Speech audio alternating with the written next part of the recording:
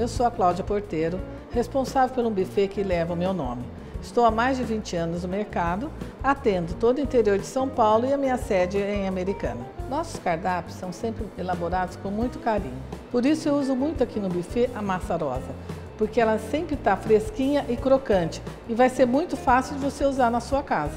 Eu adoro receitas práticas, por isso elaborei para vocês uma receita de palmier napolitano que você pode usar em qualquer época do ano.